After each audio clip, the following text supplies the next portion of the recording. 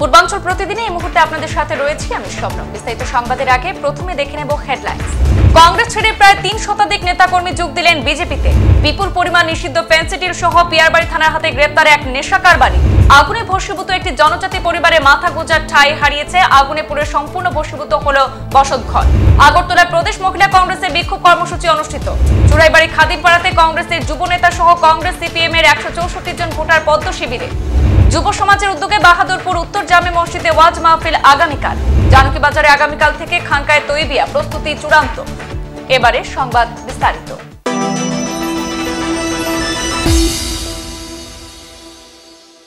বিরোধী দলগুলিতে ভাঙন অব্যাহত রয়েছে। ত্রিপুরায় বিজেপি সরকার ক্ষমতায় আসার পর এই ভাঙন যেন কয়েক গুণ দ্রুত হয়ে গিয়েছে। প্রায় প্রতিদিনই ত্রিপুরা রাজ্যের কোনো না কোনো প্রান্তে বিরোধী দল ভেঙে কংগ্রেস দলে যোগদান করছেন। কংগ্রেসের মাইনরিটি ডিপার্টমেন্টের চেয়ারম্যান জয়দুল হোসেন, রতন দাস সহ অন্যান্য নেতৃবৃন্দরা দল ত্যাগ করে শুক্রবার যোগ দিলেন শাসক দল বিজেপিতে।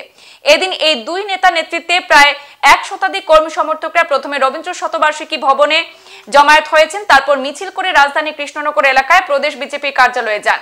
মিছিল থেকে তারা আওয়াজ তুললেন, জগাই মাথাইয়ের তালিবানি ত্রিপুরা কংগ্রেসের ডাব্বাখালী মিছিল শুরুর আগে জয়দুল হোসেন সংবাদ মাধ্যমকে জানান, এদিন কর্মী সমর্থক মিলে প্রায় তিনশো জন বিজেপিতে যোগদান করেছেন। পরবর্তী সময়ে অন্যান্য জেলা থেকেও বিভিন্ন কর্মী সমর্থকরা বিজেপিতে যোগদান করবেন। অবগত আছেন, আপনাদের মাধ্যমে এই রাজ্যের মানুষ এবং আপনারা সেটা মানুষের কাছে পৌঁছে দিয়েছেন যে আমরা ভারতের জাতীয় কংগ্রেস দল একটা সময় করতাম।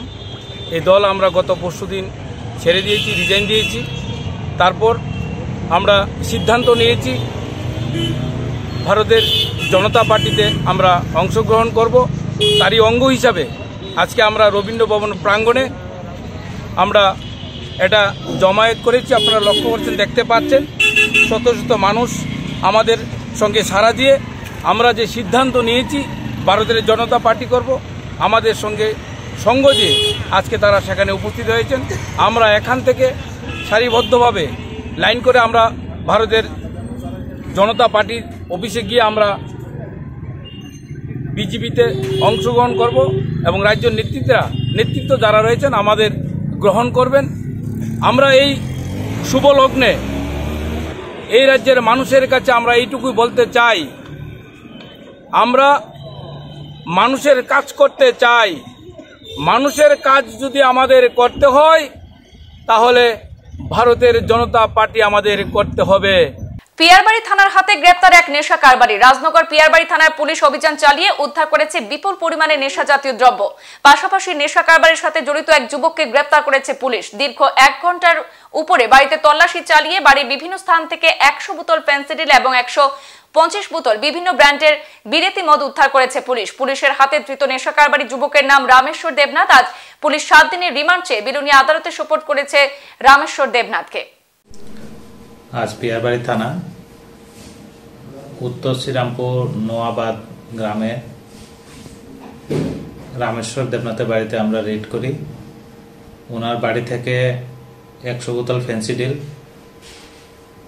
বিভিন্ন জাতীয় বিলিতি মদ একশো পঁচিশ বোতল সিজ করি এবং রামেশ্বর দেবনাথকে আমরা অ্যারেস্ট করি।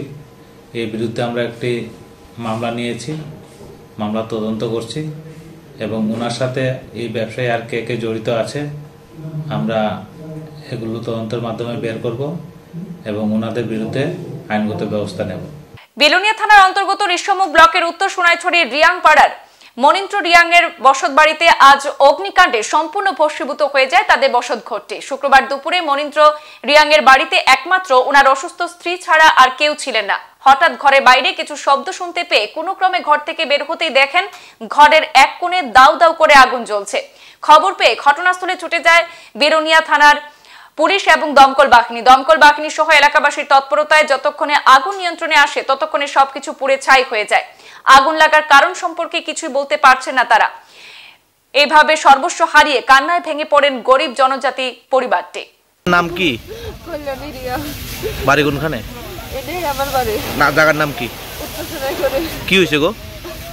আমি তো রান্না কইরা স্নান করতে গেছি আমি কইতাম পারি না আমি স্নান করতাম মাত্র পুষ্কনে গেছি বইছি আর ঠাকুমা ডাক দিছে আমার ঘরে তো আগুন লাগছে। তো ওই সময় আইয়া দেখছি আগুন ঘরে। আইয়া হইতে পারে না কেউ। কোনখান থেকে আগুন লাগছে জানছেন নি? থেকে লাগছে কইতে পারে না বাড়িতে কেউ নাই। বুড়ি আছে অসুস্থ। বুড়িও কইতে পারে না। বুড়ি এখানে দাঁড়াইয়া ডাক দিছে কেউ কইতে পারে না বাড়িতে কেউ নাই। বাবা আসলে বাবা বাড়িতে নাই। কি মনে হয় কোনখান থেকে লাগতে পারে? আমি নিজে কেমনে কইতাম কর। আমি তো কেমনে ঘুমো আমি তো বাড়িতে আসলাম না স্নান করতে কিতা কিতা আসলো আপনার ঘরে? আমার বাড়িতে আছে সব কাগজপত্র আছে আমার অ্যাকাউন্ট আছিল আমার আমরা জায়গা জমির কাগজপত্র আছিল তারপরে আমার সব কাগজপত্র আছিল। আসবাবপত্র কিতা কিতা আসলো হ্যাঁ? আসবাবপত্র? কাগজপত্র আমার অ্যাকাউন্ট আছিল আমার অ্যাকাউন্টে টাকা আছিল জমা সব কাগজ। জিনিসপত্র কি আছে? জিনিসপত্র? জিনিসপত্র কাপড় চুপড় আছিল আমার টাকা পয়সা আছিল। কেমন ক্ষয়ক্ষতি কেমন হয়েছে আপনার? কি মনে হয়? ক্ষয়ক্ষতি কেমন কেমনে হইতাম আমার তো অ্যাকাউন্টে আছিল আমার নিজের বাবা আমার অ্যাকাউন্টে টাকা রাখছিল দুই লাখের মতো। তারপরে আমার বাবার আসছিল তিরিশ হাজার। আর তারপরে ঘরের জিনিসের কেমন ক্ষয়ক্ষতি হয়েছে? সব পুড়ে গেছে তো। কাপড় চুপড় আমাদের জায়গা জমির কাগজপত্র আমার Aadhaar card I card account তারপরে আমার বাবার অ্যাকাউন্ট আমার সারা দেশের নারীরা আজও সুরক্ষিত নয়। নিত্যদিন নারীদের উপর নির্যাতনের ঘটনা বৃদ্ধি পাচ্ছে। অভিযোগ ত্রিপুরা প্রদেশ মহিলা কংগ্রেসের। অবিলম্বে নারীদের উপর নির্যাতন বন্ধ করার দাবিতে শুক্রবার তারা ত্রিপুরা প্রদেশ কংগ্রেস ভবনে এক বিক্ষোভ কর্মসূচির আয়োজন করেন। এদিন এই কর্মসূচির নেতৃত্বে ছিলেন ত্রিপুরা প্রদেশ মহিলা কংগ্রেসের সভানেত্রী সর্বাণী ঘোষ চক্রবর্তী। অভিযোগ করে তারা বলেন সম্প্রতি কানপুরে নাবালিকার উপর বর্বরচিত নির্যাতনের ঘটনা ঘটলেও শাসক দলের নারী নেত্রীরা চুপচাপ রয়েছেন। এই পরিস্থিতিতে সর্বভারতীয় মহিলা কংগ্রেস সভানেত্রী মনীষা লাম্বা তাদেরকে নির্যাতিত মহিলাদের পাশে দাঁড়ানোর জন্য আহ্বান জানিয়েছেন। এদিন তারা হাতে হাতে মহিলা নির্যাতন সংক্রান্ত নানা ধরনের প্লে কার্ড নিয়ে ধর্ণা কর্মসূচিতে অংশ নেন। আপনারা জানেন, আমাদের ভারতবর্ষে নারীরা এই বিজেপি সরকারের আমলে ওষুধ সুরক্ষিত নয়। তো সারা ভারতবর্ষে যেভাবে নারী নির্যাতন, নারী ধর্ষণ ঘটে চলেছে দিনের পর দিন, প্রতি ঘন্টায় তিনজন করে ধর্ষণ হচ্ছে। তো এটা আমাদের শুধু নারীদেরই না, এটা সমস্ত ভারতবাসীর কাছে লজ্জাদায়ক ঘটনা। এবং এই ঘটনার আমি তীব্র নিন্দা জানাই। তৎসঙ্গে আমাদের অল ইন্ডিয়া মহিলা কংগ্রেস প্রেসিডেন্ট অলকালাম্বাজি প্রতিটি রাজ্যে রাজ্যে নারী নির্যাতনের যে ঘটনা সংগঠিত হচ্ছে, সেগুলির বিরুদ্ধে অল ইন্ডিয়া নিউজে যেমন তুলছেন, সমস্ত রাজ্যেই আমাদেরকে বলছে যে এই সব ব্যাপার নিয়ে সমস্ত জনগণকে অবহিত করার জন্য। এবং একের পর এক ভারতবর্ষে যেভাবে নারী নির্যাতন, নারীদের সম্ভ্রমের উপর আমাদের যে ঘটনা ঘটে চলেছে ক্রমাগতভাবে, সেটা সত্যি নিন্দনীয় এবং লজ্জাস্কর ব্যাপার, যেটা স্বাধীন ভারতবর্ষে এর আগে কখনো ঘটেনি। আপনারা জ্বলন্ত দৃষ্টান্ত দেখেছেন মণিপুরের ঘটনা, সেটা নিয়ে আমাদের মাননীয় প্রধানমন্ত্রী একবারের জন্য মুখ খুলেননি। আসন্ন দু লোকসভা নির্বাচনকে সামনে রেখে ত্রিপুরার দিকে দিকে চলছে দল বদলের হিড়িক। শুক্রবার কদমতলা কর্তৃ বিধানসভা কেন্দ্রে চুরাইবাড়ি খাদিমপাড়া এলাকায় সমর্থনী সভায় স্থানীয় যুব কংগ্রেসের পোর খাওয়া নেতা লোকমান উদ্দিনের নেতৃত্বে সাবুল মিয়া, আব্দুল খালিক আলাল হোসেন সহ ছেচল্লিশ পরিবারের একশো চৌষট্টি জন সংখ্যালঘু ভোটার সিপিএম এবং কংগ্রেস দল ত্যাগ করে ভারতীয় জনতা পার্টিতে সামিল হন। এদিনে সমর্থনী সভায় বক্তব্য রাখতে গিয়ে উপস্থিত অতিথিরা কেন্দ্র ও রাজ্য সরকারের জনকল্যাণমুখী বিভিন্ন প্রকল্পের তথ্য তুলে ধরেন এবং নবাগতদের হাতে ভারতীয় জনতা পার্টির পতাকা তুলে দিয়ে দলে বরণ করে নেন অতিথিরা। ভারতীয় জনতা পার্টি কদমতলা কুর্তি অন্তর্গত উনপঞ্চাশ নং বুথে এই অঞ্চলের, এই অঞ্চল হচ্ছে খাদিমপাড়া অঞ্চল। এই অঞ্চলের ছেচল্লিশ পরিবারে একশো বাষট্টি জন সাধারণ জনগণ, ভারতীয় জনতা পার্টির পতাকা দলে সামিল হয়েছে। বিগত দিনে তারা একটু ভুল বুঝাবুঝির কারণে যে অশুভ ঝুট হয়েছিল ত্রিপুরা রাজ্যে দু হাজার নির্বাচনের পূর্বে, তারা ওনাদেরকে বিভ্রান্ত করেছিলেন বলে এর মধ্যে কিছু সংখ্যক লোক কংগ্রেস দল জয়েন করেছিলেন। আজকে ওনারা ওনাদের ভুল বুঝেছেন এবং আবার তারা ভারতীয় জনতা পার্টির পতাকা দলে সামিল হয়েছে। আজকে আমাদের সাধারণত ত্রিপুরা রাজ্যে প্রত্যেকটি বিধানসভার পাশাপাশি আমাদেরও গাঁও চলো অভিযান লাভবার্তি অভিযান এগুলো চলছে। আমাদের এই বুথেও লাভবার্তি অভিযান হচ্ছে। পাশাপাশি আরও কিছু সমর্থন আছে। তো যদিও আমাদের ত্রিপুরা প্রদেশ থেকে নির্দেশ দেওয়া হয়েছে, আমরা আজকে পর্যন্তই আমাদের সমর্থন জারি রাখব। তারপর পরবর্তী নির্দেশ আসা না পর্যন্ত আমরা আমাদের সমর্থন আর আমরা করব না। যুব সমাজের উদ্যোগে বাহাদুরপুর উত্তর জামে মসজিদে ওয়াজ মাহফিল আগামীকাল শনিবার। দিনই আলোচনায় অংশ নেবেন এক ঝাঁক সুন্নি ওলামারা। ওয়াজ মাহফিল ঘিরে সাজু সাজু রব গ্রাম জুড়ে। আলোকসজ্জায় সেজে উঠেছে উত্তর জামে মসজিদ। ধর্মীয় এই সমাবেশকে সার্থক এবং সফল করে তুলতে এলাকার সর্বস্তরের ধর্মপ্রাণ মুসলমানদের উপস্থিতি এবং সর্বাঙ্গীন সহযোগিতা কামনা করেছেন ওয়াজ মাহফিল উদ্যোক্তা কমিটি।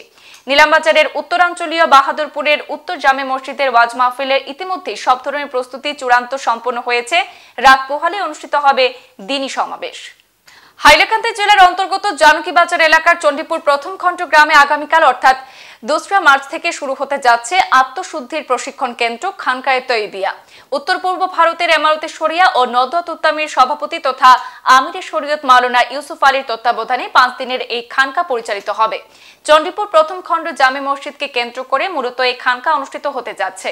সুষ্ঠুভাবে খানকা আয়োজনের জন্য বিভিন্ন গুরুত্বপূর্ণ প্রস্তুতি ইতিমধ্যে সম্পন্ন করে রেখেছে অভ্যর্থনা কমিটি। বিশিষ্ট ইসলামী আলোচক পীর আলিম ওলামা, পীর মাসায়েক খানকাতে উপস্থিত হয়ে আত্মশুদ্ধির প্রশিক্ষণ দেবেন। খানকাতে মুসল্লিদের নিয়ে আসা জানকী বাজার থেকে গাড়ির ব্যবস্থা করা হয়েছে বলেও জানিয়েছেন আয়োজক কমিটির পক্ষ থেকে। পরবর্তীকারের মসজিদে আমাদের খানকার প্রস্তুতি প্রায় সম্পন্ন হতে চলেছে। সামান্যটুকু কাজ বাকি রয়েছে। আশা করি সামান্য সময়ের ভিতরেই তা সমাপ্ত হয়ে যাবে। আমাদের টেন্ট হাউস সহ অন্যান্য যে সমস্ত দায়িত্বে যারা আছেন, তারা কাজগুলো অত্যন্ত যথারীতি করে যাচ্ছেন এবং শীঘ্রই সমাপ্ত হয়ে যাবে ইনশাআল্লাহ। আমাদের এই খানকায় পৌঁছতে জানকি বাজার থেকেই গাড়ির সুব্যবস্থা থাকে। এখানে নামেই আপনারা দেখবেন এখানে গেট আছে বা এখানে গাড়িও আছে যে গাড়িগুলোর মধ্যে ব্যানার আছে পোস্টার লাগানো থাকবে। এই গাড়ি করে ফ্রিতেই খানকায় পৌঁছে যাবেন অতি সহজে খানকা পর্যন্ত পৌঁছে দেবে গাড়ি। এতে কোনো অসুবিধা হবে না। প্রায় হাজার খানিক মানুষের ইন্তজাম করেছি। ইনশাআল্লাহ সবার জন্য সুব্যবস্থা আছে এবং এখানে আসলেই সবাই উপযুক্তভাবে সম্মান পাওয়ার সুযোগ থাকবে ইনশাআল্লাহ আমরা আশা রাখি। সংবাদ এই পর্যন্তই। ফিরছি পরবর্তী অন্যান্য আপডেট নিয়ে। সাথে থাকুন। ধন্যবাদ।